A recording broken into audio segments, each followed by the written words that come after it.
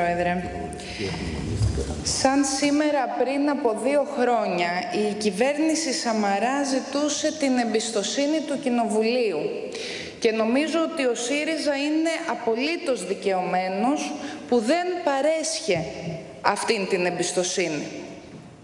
Κύριοι της κυβέρνησης, κυβερνάτε τον τόπο αυτό εδώ και 40 χρόνια. 40 χρόνια κυβερνάτε και πάνω από 20 πουλάτε. Πότε θα κάνετε απολογισμό; Ποιες είναι οι επιτυχίες των πολιτικών σας; Τι έχετε να επιδείξετε ως επίτευγμα της ακολουθούμενης πολιτικής και στρατηγικής σας; Γιατί φαντάζομαι ότι δεν μπορεί να επέρεστε που κάνατε πλουσιότερο τον κύριο Βιενόπουλο, ας πούμε, ξεπουλώντας την Ολυμπιακή και τις μετοχές του ΟΤΕ. Δεν μπορείτε να επέρεστε για την κατάσταση στην οποία έχετε φέρει τις δημόσιες επιχειρήσεις, αλλά και ολόκληρη τη χώρα. Κυρίες και κύριοι, το επιχειρούμενο ξεπούλημα της λεγόμενης μικρής ΔΕΗ θέτει για πολλωστή φορά επί διακυβέρνησης Σαμαρά, επί διακυβέρνησής σας, ζήτημα δημοκρατίας ζήτημα εθνικής κυριαρχίας, ζήτημα διαφάνειας, ζήτημα προστασίας της δημόσιας περιουσίας αλλά και της ιδιωτικής ιδιοκτησίας, ζήτημα αξιοποίησης του δημοσίου πλούτου, ζήτημα διαφύλαξης του δημοσίου συμφέροντος. Μπορείτε 51 άνθρωποι που δεν ξέρω που βρίσκονται αυτή τη στιγμή. Έναν μόνο βουλευτή βλέπω, τον εισηγητή της Νέας Δημοκρατίας. Μπορείτε κύριε Σκρέκα, 51 άνθρωποι να δεσμεύσετε τη χώρα; Μπορείτε να δεσμεύσετε το λαό, τον πληθυσμό; Μπορείτε να πάρετε στο λαιμό σας τις ζώσες και τις επόμενες γενιές; Μπορείτε να ξεπουλήσετε και να ξεκοκαλίσετε αυτά για τα οποία κόπιασαν, ίδρωσαν, μόχθησαν οι προηγούμενες γενιές; Εμείς λέμε όχι. Και λέμε ακόμη ότι για το επιχειρούμενο οικονομικό και εθνικό έγκλημα δεν υπάρχει κανείς, ούτε κυβερνητικός επιτελής, ούτε φερόμενος επενδυτής ή εν της πράγμασιν ανταγωνιστής, κανείς που να μπορεί να ισχυριστεί ότι υπήρξε ανυποψίαστος, αφελής, αμελής ή καλόπιστος και παραπλανηθής. Προχωράτε εν γνώση και εν συνειδήσει ότι ενεργείτε με επιζήμιο για το δημόσιο συμφέρον τρόπο και τα πρακτικά αυτής της συνεδρίασης και της χθεσινής, αυτής της συνεδρίασης της Βουλής θα υπάρχουν για να αποδεικνύουν ότι σας προειδοποιήσαμε για τις ευθύνες σας. Όσοι ετοιμάζεστε να ψηφίσετε το νομοθέτημα αυτό, Ας απαντήσετε πριν αποφασίσετε σε κάποια ερωτήματα. Δρομολογείτε, κύριε Μανιάτη, ουσιαστικά το σπάσιμο της ΔΕΗ σε καλή και κακή. Αυτό είναι το απότερο, ε, η απότερη στόχευσή σας. Θα ακολουθήσετε το μοντέλο της καλής και κακής τράπεζας που εφαρμόσατε στις δημόσιες τράπεζες; Και αν ναι, σε ποιο από τα δύο κομμάτια θα αποδώσετε και θα αφήσετε την ευθύνη της συντήρησης ας πούμε, των εγκαταστάσεων, που τις πιο παλιές τις προορίζετε για το εναπομένον στο δημόσιο κομμάτι και τις πιο καινούργιες θέλετε να τις εντάξετε στη μικρή ΔΕΗ. Ποιος αναλαμβάνει την ευθύνη αποκατάστασης των ρήπων; Πώς θα διαχωρίσετε τους καταναλωτές θα δώσετε πράγματι αυτή είναι η στόχευσή σας τους καλοπληρωτές στη μικρή ΔΕΗ και εντεύθεν στους ιδιώτες για να μείνουν στο δημόσιο οι επισφαλείς διασυνδέσεις. Και εν σχέση αλήθεια με την περιουσία της ΔΕΗ.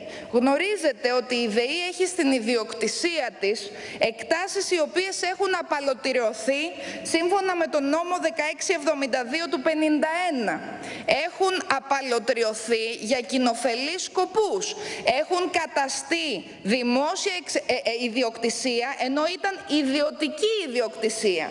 Αυτά θα τα χαρίσετε θα τα δώσετε πίσω σε ιδιώτες ενώ έχουν απαλωτριωθεί για κοινοφελή σκοπό; Υπάρχει τέτοια εκκρεμότητα δικαστική στο κλειδί; Και τι θα κάνετε, θα καταβάλλετε αποζημιώσεις ως δημόσιο και εν συνεχεία θα εκχωρήσετε τις εκτάσεις σε ιδιώτη; Λέτε δεν τα κάνει το δημόσιο, τα κάνει η διοίκηση της ΔΕΗ.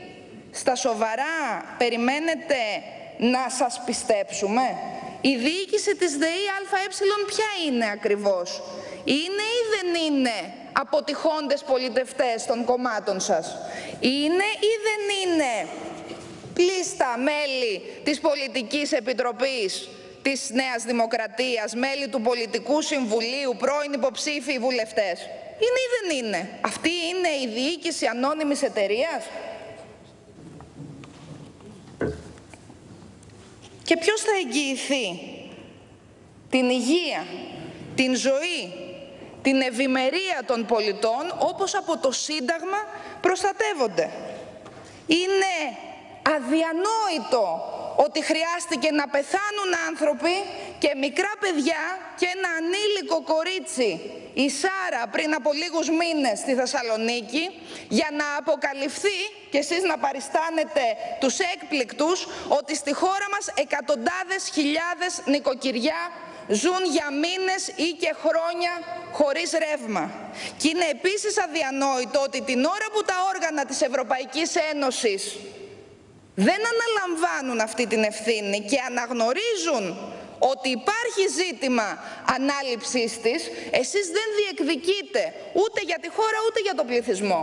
Εγώ τα έθεσα αυτά στον αρμόδιο επίτροπο της Ευρωπαϊκής Ένωσης όταν έγινε η διακοινοβουλευτική διάσκεψη πριν από λίγες μέρες στην Αθήνα.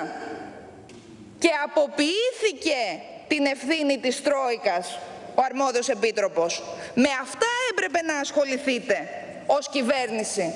Με τη διεκδίκηση των ευθυνών και της αποκατάστασης. Και όχι με την παράθεση γευμάτων με τα χρήματα της Ελληνικής Βουλής. Διότι οφείλετε να γνωρίζετε ότι το ρεύμα και η πρόσβαση στην ενέργεια είναι κοινωνικό αγαθό που κατά το Σύνταγμα και κατά τις ευρωπαϊκές συνθήκες αλλά και τις υπερνομοθετικές διατάξεις προστατεύεται η πρόσβαση σε αυτό και υπάρχει εγγύησή του ως κοινωνικού δικαιώματος που θεμελιώνει αντίστοιχη αξίωση όχι μόνο για τα πρόσωπα αλλά και για τις κοινωνίες και για τα κράτη. Σας καταθέτω, μήπως και το αξιοποιήσετε για το λίγο ακόμη που κυβερνάτε, το άρθρο 122 της Σύμβασης των ε, Ευρωπαϊκών Κοινοτήτων, της Συνθήκης για τη Λειτουργία της Ευρωπαϊκής Ένωσης, που λέει ότι η εγγύηση της ενέργειας δημιουργεί και υποχρέωση αλληλεγγύης και υποχρέωση ενίσχυσης, όχι δανειοδότησης. Δυστυχώς δεν είστε εγγυητές ούτε της ζωής, ούτε της υγείας, ούτε της κοινωνικής ευημερίας όσο οφείλατε. Είστε και συμπεριφέρεστε ως μεσίτες και πλασιέ της δημόσιας περιουσίας, που μάλιστα κάνετε και ιδιωτικές συναντήσεις για την εκποίησή της. Ήταν αποκαλυπτική η κατάθεση στην Επιτροπή για τη λίστα Λαγκάρντ, η κατάθεση του κυρίου Μιονί, ο οποίος είπε ότι όσο ακόμα ο κύριος Σαμαράς ήταν αρχηγός της αξιωματικής αντιπολίτευσης, αλλά συμμετείχε στην κυβέρνηση Παπαδήμου, συμμετείχε σε συνάντηση στο γραφείο του με τον μεγαλύτερο Ισραηλινό επιχειρηματία, με παρουσία του κυρίου Μηταράκη και του κυρίου Παπασταύρου, για να συζητήσουν για τις Μαρίνες, τις Μαρίνες που τώρα εκποιείται μέσω του ΤΑΙΠΕΔ. Είναι ξεκάθαρο ότι δεν διασφαλίζεται το δημόσιο συμφέρον και φάνηκε αυτό στις υποθέσεις Ενέργα και Ελλάς Power και είναι επίσης ξεκάθαρο ότι εμείς σας δίνουμε μια δημοκρατική διέξοδο. το δημοψήφισμα. Διότι 51 άνθρωποι, εκπρόσωποι μιας κυβέρνησης μειοψηφίας, μιας κυβέρνησης σε, σε αποδρομή, δεν μπορείτε να επιμένετε να βάλετε τη θηλιά στο λαιμό της ιστορίας. Και όσο γι' αυτό που είπε ο εκπρόσωπος του Πασόκ, ότι δηλαδή μόνο με εκλογές μπορεί να σας στείλει ο λαός στην αντιπολίτευση, ελπίζω το Πασόκ να μην έχει την αίσθηση ότι με το 12% του Μαΐου του 2012 και με το 8% που πήρε ως συνιστόσα της ελιάς τον έστειλε, το έστειλε δίθεν ο λαός στην κυβέρνηση. Διότι αυτό συνιστά εκτροπή όπως εκτροπή συνιστά η προώθηση της πολιτικής σας με πράξεις νομοθετικού περιεχομένου, με απαγόρευση συγκεντρώσεων, με χημικά και με επιστρατεύσεις, τέσσερις στον αριθμό μέσα σε δύο χρόνια, για τις οποίες εκδίδεται κροκοδίλιες ανακοινώσεις για το πόσο λυπάστε. Οι αντιδημοκρατικές πρακτικές σας έφτασαν μέχρι του να επιστρατεύετε και δικηγόρους επιστρατεύονται οι δικηγόροι, για να, οι δικηγόροι της ΔΕΗ για να μην κοπεί το ρεύμα και είναι χαρακτηριστική και δηλωτική η σχετική ε, ε, ανακοίνωση που εξέδωσε ο Δικηγορικός Σύλλογος Αθηνών. Παρακαλώ κύριε Κωνσταντοπούλου, αν μπορείτε να με Ναι κύριε Πρόεδρε. Θα χρειαστώ περίπου 1,5 λεπτό. Κύριοι της κυβέρνησης, η αλήθεια δεν κρύβεται.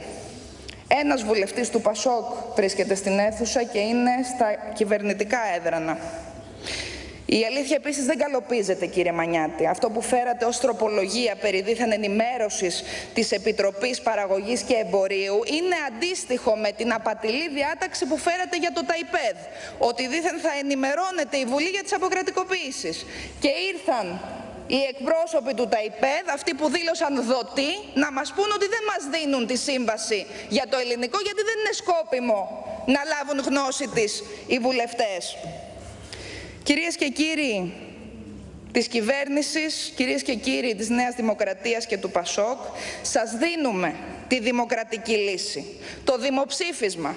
40 χρόνια είναι πάρα πολλά για να μην έχει γίνει άλλο δημοψήφισμα παρά μόνο αυτό της 8ης Δεκεμβρίου του 1974 με το οποίο αποτινάχθηκε η μοναρχία. Αποτινάχθηκε κύριε η μοναρχία και δεν μπορεί εσείς να θέλετε να εγκαταστήσετε τη δική σας και των ημετέρων σας τη δική σας ιδιότυπη ολιγαρχία και φεουδαρχία. Γιατί δεν αξιοποιείτε αυτή τη θαυμάσια ευκαιρία που σας δίνουμε να θέσετε σε δοκιμασία τις θεωρίες σας. Να μιλήσει ο λαός ή δεν του έχετε εμπιστοσύνη ή τον φοβάστε. Φοβάστε τη λαϊκή ετοιμιγορία; Κύριε Υπουργέ και κύριοι της κυβέρνησης, εμείς έχουμε την, την αυτοπεποίθηση του δίκαιου αιτήματός μας. Έχουμε την αυτοπεποίθηση των δίκαιων αγώνων μας, γιατί έχουμε το δίκαιο με το μέρος μας. Εσείς στέκεστε έντρομοι μπροστά σε αυτή την προοπτική. Στην προοπτική δηλαδή της δημοκρατικής διεξόδου. Εάν σας τρομοκρατεί η προοπτική της δημοκρατικής διεξόδου, δεν είναι γιατί ο ΣΥΡΙΖΑ έχει δίθεν σχέση με την τρομοκρατία. Είναι γιατί προφανώς εσείς και δυστυχώς τρομοκρατήστε από τη δημοκρατία. Το λόγο έχει ο κύριος